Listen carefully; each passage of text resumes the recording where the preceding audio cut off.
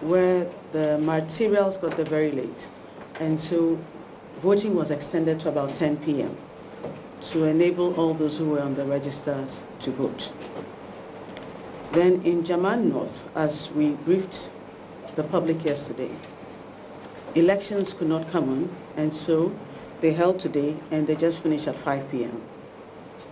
And we felt that because voting was still going on in one constituency, it was important that we hold off any formal briefings until after they had finished voting in Jaman North. Following the close of polls at all the polling stations, we, we've had a few challenges with the collation process, which we think is important to address. Um, in some constituencies, such as um, Tema East, there was an error in collation, and for a while there were some outstanding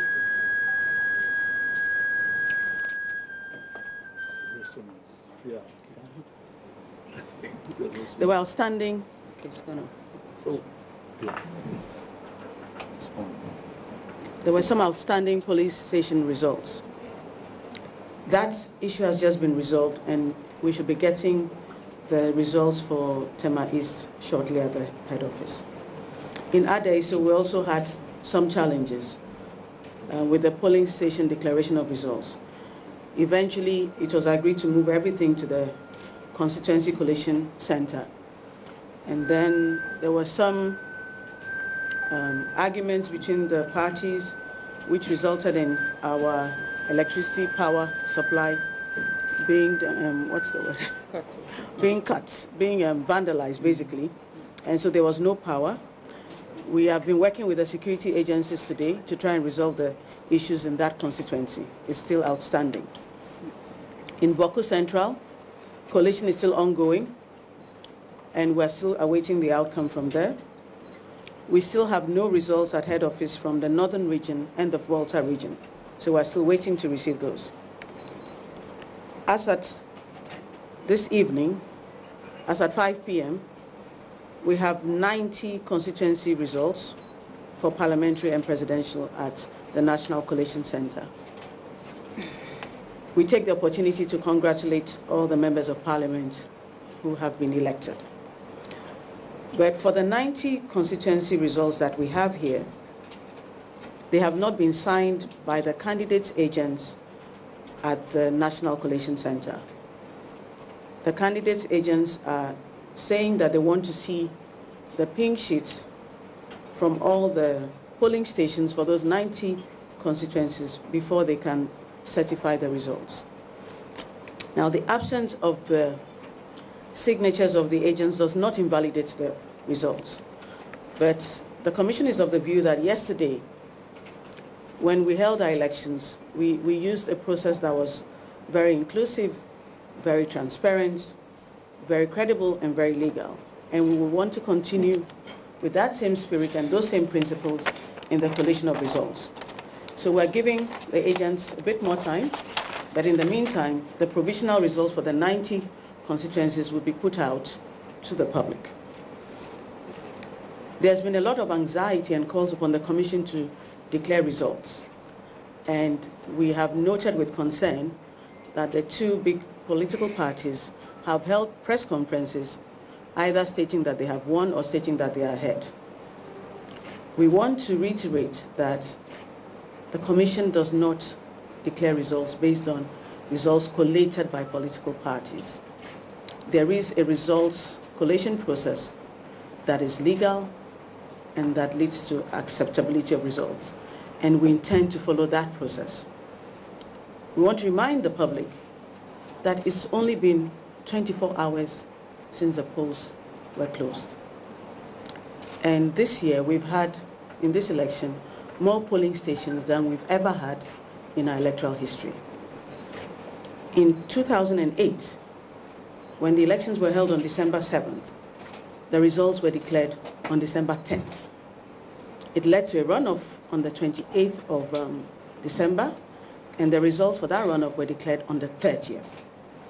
At the declaration on the 30th, the Commission decided that there was the need to have hold elections in the Tain constituency which had been um, which had not happened, which had been agenda at that point. And so um, the elections were held in Tain on the 2nd of January, and the results were declared on the 3rd of January. It's worth noting that the Tain constituency had about 40,000 votes, which decided it. A few minutes ago, polling ended in the Jaman North constituency, and that constituency alone has 44,758 um, results, uh, voters. And so we think it is important that we exercise prudence, we ensure that the results we declare are accurate, and it is better that we take our time to make sure that results are properly signed off and collated before we declare it.